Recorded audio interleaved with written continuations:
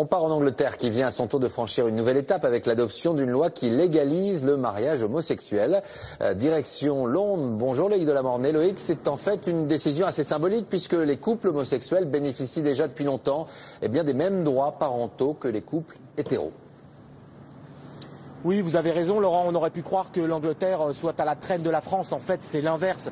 Depuis des années, vous l'avez dit, euh, la loi ici est beaucoup plus euh, équilibrée et totalement en faveur euh, de l'équilibre et de l'équité avec les couples hétérosexuels, que ce soit en matière d'adoption, en matière de PMA, par exemple, les couples homosexuels ont les mêmes droits. C'est ce qui explique qu'ici, il n'y a eu aucune manifestation, aucun débat autour de cette légalisation du mariage homosexuel. Le seul débat qu'il y a eu, ça a été au sein de l'Église anglicane, qui autorise déjà le mariage de ses prêtres hétérosexuels et qui s'est interrogé sur le mariage de ces prêtres homosexuels. La réponse a été non, mais cela montre que le débat a été bien plus loin ici en Angleterre qu'en France. En tout cas, les premiers mariages, vous l'avez dit, se sont passés dès hier soir, comme le montre ce reportage que nous avons tourné avec Thomas Donzel.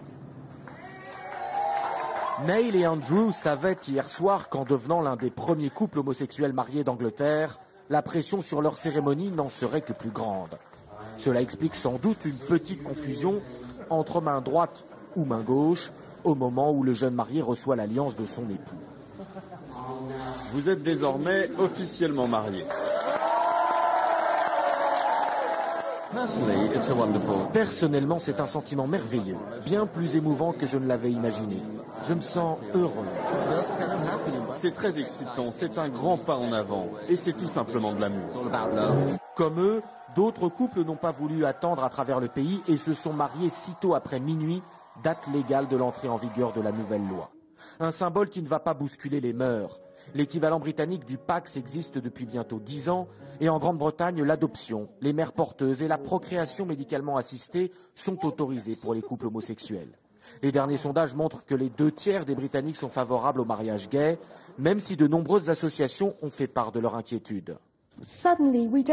Tout d'un coup, on perd le sens des choses. Jusqu'ici, le mariage signifiait vraiment quelque chose. C'était un homme et une femme dans une promesse d'union pour toute la vie et pour le bien des enfants.